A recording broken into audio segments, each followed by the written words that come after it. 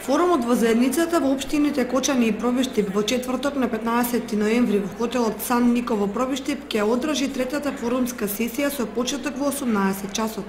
Тема на меѓуопштинскиот форум е развојот на туризмот во спортско-рекреативниот центар Пониква.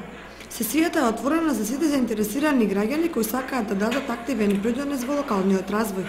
Преку форуми во заедницата, жителите на општините Пробишти Пикочани одлучуваат кои се приоритетите за социоекономскиот развој на општината и кои активности може да се спроведат за подобрување на состојбата на локалната заедница. Проектите на граѓаните ќе се финансираат со буџет од 6 милиони 800 000 динари, од кои по половина од општините и од донаторот Швајцарската агенција за развој и соработка SDC.